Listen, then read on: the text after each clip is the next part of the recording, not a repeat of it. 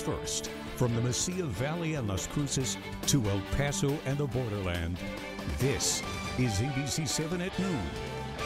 New at noon, ABC 7 has obtained the arrest photo of the man who was shot by Las Cruces police overnight. Good afternoon and thanks for joining us for ABC 7 at noon on air and live on KVIA.com. I'm Isabela Martinez. And I'm Michael Courier. Now let's take a look at the suspect. He's 50-year-old Danny Garcia de Leon. Police arrested him and booked him into the Doña Ana County Jail after he was released from the hospital. Now the shooting happened Monday evening in an apartment complex at the corner of South Espina and Idaho. ABC 7's Jason McNabb joins us live with our New Mexico mobile